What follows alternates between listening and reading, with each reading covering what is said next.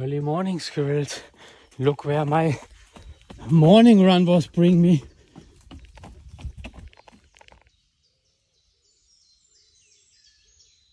You can hear that over the phone? Crazy, yeah? Oh, it's beautiful.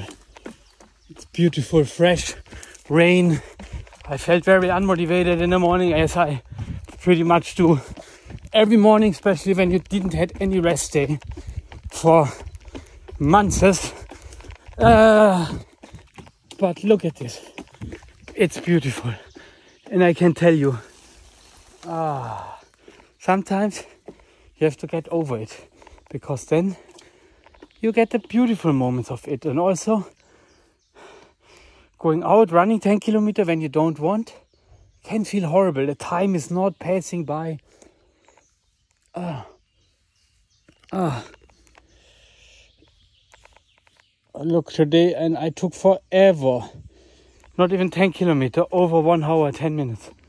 Because I'm really not good, but better take it calm, take it easy, calm and steady, and just do something. And I know I will feel good when I arrive back to the car. And then I can start the day. Still like nine in the morning, so it's still a lot in front of us. And um, yeah, you never know where the paths bring you. You go somewhere. I have this tracking app, Komoot. I look always for little trekking rounds, and usually the starting points are like somewhere in the nature, and then we go from there. And today, Bacherner Moos in the heart of Bavaria.